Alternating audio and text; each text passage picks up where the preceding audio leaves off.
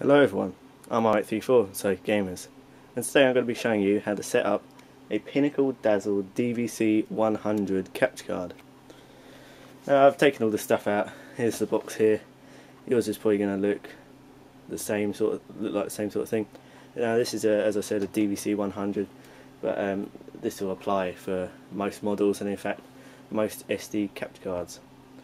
Now the reason I'm doing this video is I'm not going to be using this capture card anymore. That's right, my brand new HD Hauppauge Colossus capture card has just arrived and this one is being donated at least temporarily to the Stack Nerd to allow him to record up some videos. So this is for him and also for anybody else that needs to know how to do this. Now first thing you're going to need is everything out of the box. You're going to need your capture card and the installation disc. You're also going to need the composite cable for your PlayStation three splitters, a double-ended composite cable, depending on how far away your PlayStation is from your TV and your computer, um, is obviously going to depend on the length of cable you're going to need. And also, if you don't have a composite connection on your TV and you have a SCART, you're going to need one of these, although this does come with the PlayStation. Of course, you're going to need a TV, a PlayStation 3 or Xbox 360 console, and a computer which is currently hiding under my desk. Now the first thing we're going to do is we're going to take our card and we're going to put it somewhere where we're going to be able to reach it from both the PlayStation and the TV. It's going to be fine here for me so I'm just going to leave it on my table. We're going to get the USB end and we're going to plug it in to one of our computer's USB ports. Now our capture card has been connected to our computer's USB, we need to plug in the composite cables. Now first thing you need to do is um, turn on your PlayStation and you need to get your PlayStation 3 composite cable adapter. Now whatever you're currently using you're going to have to um, unplug and put this in. If you're using component cables this might be a little trickier because they use the same connection. This is a component cable, that's a composite cable as you can see that go in the same socket. So you'll need to do the next bit um, before you swap them over. However, I'm using HDMI and if you're using HDMI as well, this is perfectly fine. Of course, if you're already using these composite cables to play normally, you can completely skip this step. So now, now um, now we've got that plugged in we don't have to change anything on our PlayStation quite yet. What you're going to want to do is you want to get these splitters and you're going to plug them in to the capture card. It doesn't matter where they go just yet.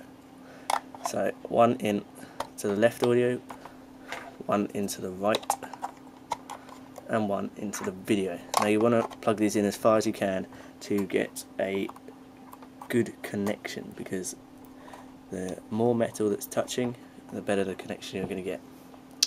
Now what you want to do then is get the cables that you just plugged into your PlayStation. Now this is where it's important to plug them in right. So um, if you don't know which colour is which these are colour coded on here. So yellow is video. And you can plug it into doesn't seem to matter which way around. Yellow is video and um, I've forgotten which way around these are Okay, so yellow is video, white is left audio, and red is right audio. So you want to plug these in to one end of the splitters. Now what we've got is capture card, three splitters, and your PS3 composite cables plugged into one end of the splitters. Now, this is when you want to get your double-ended composite cables. Now these are fairly long, I'm not sure the exact measurement of these. These are actually slightly too long for me because um, my PlayStation is very close to my computer. I don't really need it this long, but it doesn't really matter. It's better to have it too long than too short because you don't want to be trying to stretch the wires. Now you just do the same thing. Um, I have black, red and yellow cables here instead of white, red and yellow, but just use some common sense and plug it into what you think is the right one. To be fair, it doesn't really matter as long as the right cable finding ends up into the right socket on your TV.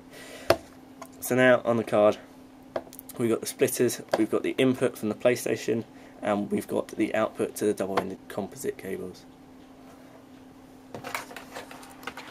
Now, we need to get the other end of the double-ended composite cables and plug this into the back of your TV. Now I don't have a composite connection so I'm going to be using this composite to SCART connector. Uh, it doesn't really make a difference you just need to connect it to your TV somehow. So I'm just going to connect these and I'm going to connect this into the back of my TV. Okay, so that's now plugged into the back of my TV. Obviously if I was setting it up to actually use this again, I wouldn't be setting it up in the middle of my table, I'd put it way behind there, out of the way, but this will do just fine for demonstration. So here's the output, double-ended com composite cable runs all the way from here and round to the back of the TV. And here is the input from the PlayStation. Now currently I'm still on HDMI, so now the next step is to switch over. And this doesn't require your computer to be on, you can um, still play like this. So you need to go into um, settings and you need to scroll down to display settings. Now sorry I'm recording this with the camcorder but obviously I can't record it with the capture card. Now you need to go into video output settings and here you'll be given four options HDMI, component D terminal, component S video and AV multi SCART. Now uh, it will currently be selected on what you're using. I'm currently using HDMI and you need to scroll down all the way to the bottom to AV multi slash SCART. Click right or X there and I am using RGB composite cables not the component YPB, CB, PR, CR cables. So select RGB and um, it will just say that it's going to go temporarily blank. Having done that you'll then need to turn over to your AV uh, SCART and you will have 30 seconds to do this and select yes. You'll then be uh, presented with this screen. Uh, it's given the standard power and 576p. Um, I've never had any uh, good results with 576p it just goes into a blank screen so you will have to put up with interlaced. Just click right here and um, if you're using a square TV then select 4.3 however I'm using a widescreen TV so I'll be selecting 16.9 it will then just give you a quick overview of the settings and you want to press enter to save. Then want to press set output audio settings. Uh, you want to do the same thing go down to audio input connector slash SCART slash AV multi um, and it should do it. And I don't know if you can hear but we now have some nice sound. So um, I'm just going to start off World at War now at this point you'll need to turn on your computer if you haven't already. When you're getting power to the capture card you'll see this little green light comes on now first time through you're going to put in this install disk This is going to install um, some drivers, some software. I'm using Windows 7 Home Premium, I'm also using the 64-bit edition, so I can confirm that works. It should also work on XP and Vista. Uh, I don't know about older versions, but I assume not many people are using older than XP. I'm not going to go through the install because, as I said, I've already done it. Um, but once you've installed it, you'll see a program on your desktop and it has an icon that looks like this it's called Pinnacle Instant DVD Recorder. And uh, it will say you've got a couple of options. So you've got select source, select burner, select menu start and recording. And again sorry for filming this with uh, the, the camcorder but Fraps for some reason doesn't seem to want to record my desktop. So I'll just try and hold it steady. Now you want to select the capture source as a Dazzle DVC Dazzle DVC 100 as you see here World at War pops up in the corner. Uh, there's some there's some options you can go through: brightness, contrast, saturation, hue, um, video standard. I don't know why that's set to NTSC. I should probably set it to PAL. Of course, that depends on the area you're in. Um, you've also got the audio input and uh, the video input. So if you're using S video, which I know I haven't covered in this, but you can also use S video. Um, so okay just take a little while to save my. Select burner. Now this is uh, fairly important. You can record to, uh, these are my disk drives, but I want to record to a hard disk folder.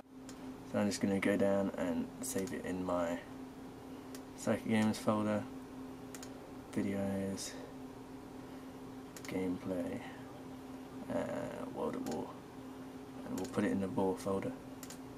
Okay, so once you've selected um, your video input and of course your hard disk folder that you wish to save this to, then you're all ready to start recording. Now uh, you can select recording time because this thing isn't really designed to record video games, it's designed to record films off of uh, camcorders. So if you already know how long you're going to be recording then that's fine, but otherwise just leave it to uh, much longer than you think you're going to be recording. You've also got some video recording, you want to set this to best if you're thinking about uploading this because any lower than that is going to look horrible. Then of course you've got to start recording. Um, I'll just start this off recording. Now this is where the splitters come in because you can double click this to make it big but unless you want to play in this fuzzy little screen then I wouldn't recommend doing it. There's also a lot of audio input output lag and uh, controller input lag so what you want to do is you want to turn over to your external game which you've already set up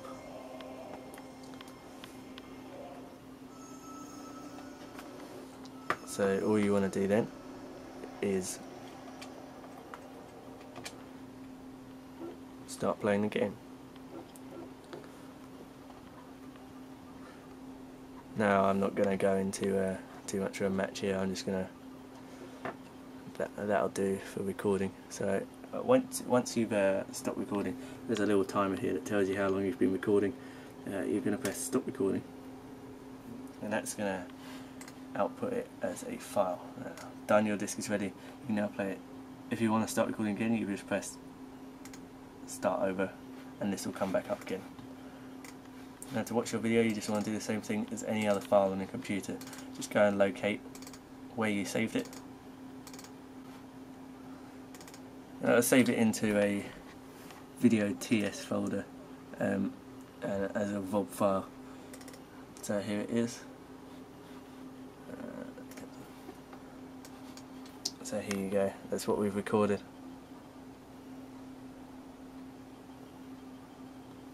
Unfortunately it's uh, displaying it in 4.3, that's just how it records. If you've got uh, one of the more expensive Dazzle capture cards, Pinnacle Studio allows you to record in 16.9. You can buy that separately, so um, I'd recommend that if you're going to seriously get into recording with your Dazzle. Otherwise, it, in your editing software you can just stretch it out and it should look fine. Uh, also one more thing, there are these little lines at the top, so in your editing software you will have to edit, um, just crop it a slight amount. But there you go, that's um, recorded footage. Simple as that. I hope this has helped you guys. Thank you for watching and stick around for next time when I'm going to be showing you how to set up my Hauppauge Colossus.